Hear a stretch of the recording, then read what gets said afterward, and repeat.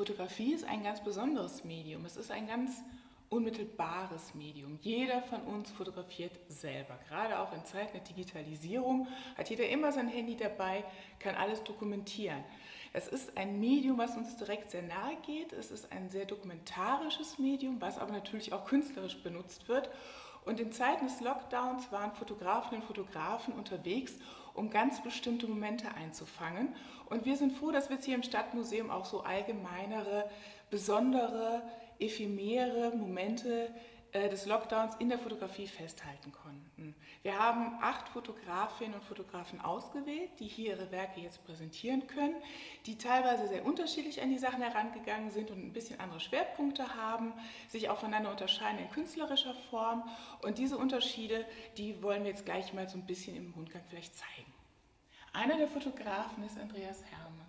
Andreas Hermann ist auch Pressefotograf und kommt dabei an Orte, wo wir eigentlich nicht hingekommen sind zu Lockdown-Zeiten. Wir kamen ja sowieso kaum irgendwo hin, aber er hatte zum Beispiel auch gute Einblicke in ähm, zum Beispiel den Krisenstab. Er durfte teilnehmen an Sitzungen, er konnte sie, diese dokumentieren und hat halt zum Beispiel auch den Krisenstab fotografieren dürfen. Also Orte, in denen entschieden worden ist, wie gehen wir mit dem Lockdown um, was sind die richtigen Wege, ähm, wo die Politik ja, um Wege auch gerungen hat und äh, sich immer wieder neu verständigen muss. Da war er vor Ort und konnte das zeigen und dokumentieren, wie isoliert auch da die einzelnen Verantwortlichen gesessen haben, immer wieder im Gespräch, jeden Morgen die Zahlen studiert haben und versucht haben, eine gute Lösung zu finden. Er ist aber auch mal ganz nah an den Menschen dran gewesen. Zum Beispiel, ähm, als Oliver Schmidt, der singende Kommissar, zusammen mit der Aachener Feuerwehr unterwegs war, haben die Leute am Straßenrand gestanden und diesem Lied und immer, immer wieder geht die Sonne auf. Ähm, Beifall geklatscht vor Freude, weil da eine Gemeinsamkeit, eine Gemeinschaft irgendwie entstanden ist, ein Zusammenhalt entstanden ist. Sowas zeigt er.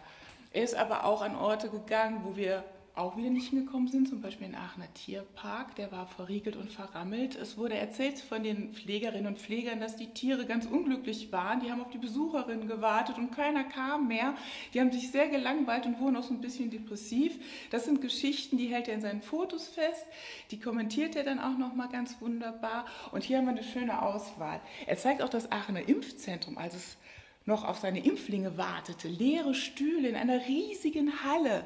Also so dieses erwartungsfrohe, was vielleicht auch die Bürgerinnen und Bürger hatten, endlich impfen, sich impfen lassen zu können. Das zeigte, glaube ich, erstmal in dieser etwas nüchternen, kahlen Halle, aber dann auch diese Geschäftigkeit, als es dann endlich auch losging mit dem Impfen. Das sind die Fotos, die wir hier von Andreas Hermann haben. Daneben haben wir Thomas Langens. Thomas Langens zeigt uns unter anderem auch leere Räume. Er geht zum Beispiel in den Aachener Dom. Die Gottesdienste konnten gar nicht oder nur eingeschränkt stattfinden. Da auch da die ganzen Rituale, die man ja gemeinschaftlich, wie zum Beispiel auch den Karneval ja pflegt, konnten nicht gefeiert werden. Karneval wurde abgesagt.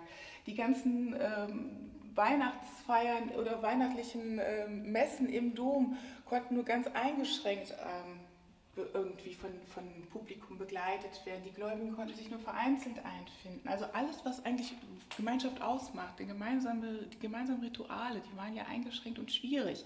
Und das zeigt sich ganz klar auch in den Fotografien hierbei. Er geht aber auch nochmal ganz besonders mit dem Thema der Masken und der Maskenpflicht um.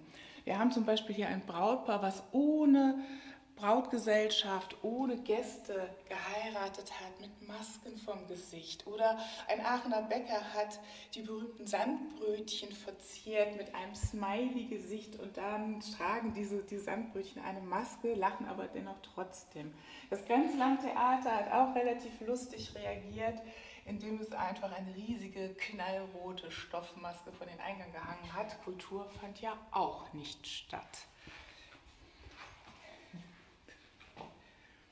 Annette Hoffmann war fasziniert vom Flatterband. Also man hat ja verzweifelt versucht, verschiedene Bereiche abzugrenzen, den Leuten zu sagen, stopp, hier könnt ihr euch nicht aufhalten, egal ob im Innenbereich oder im Außenbereich, ähm, um das irgendwie regeln zu können, um die neuen Wegeläufe, die festgelegt worden sind, einhalten zu können, wurde sehr viel und sehr kreativ Flatterband eingesetzt, teilweise völlig übertrieben, teilweise auch gar nicht klar, was dieses Flatterband verhindern soll. Also wenn man dieses, ähm, diesen Spielplatz hier sieht, dieses Spielgerät, was fast komplett umwickelt wird mit diesem rot-weißen Band, fragt man sich, was soll das? Ähm, also man erblickt ja auf, sofort, dass man da jetzt nicht drauf spielen soll, dass man halt da Abstand nehmen soll. Oder auch diese Thekenbereich, anstatt hier zum Beispiel die Stühle wegzuräumen, bleiben die Stühle stehen, aber man wird dann halt eine, oder trifft auf eine Abgrenzung, dass man gar nicht bis an die Theke herantreten kann. Also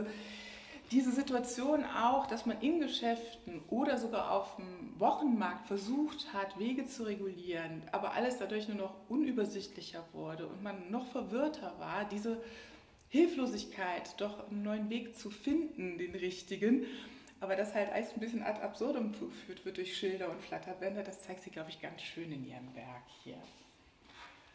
Marianne Langen zeigt unter anderem aber auch Fotos, wo jetzt wieder Menschen den Raum erobern, aber das sehr distanziert zueinander. Das heißt, man sitzt im Park, aber auf großem Abstand und nur mit einer Person höchstens, mit der man sich treffen darf.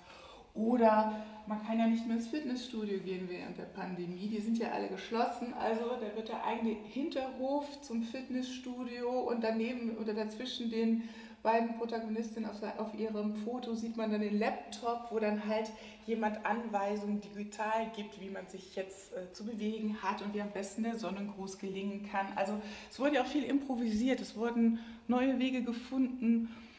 Ähm, im ja, digitalen Bereich ja dann auch, um sich zu treffen, um noch Gemeinschaft herzustellen, um Kontakte zu pflegen. Und das zeigt Marianne Langen in ihren Fotos.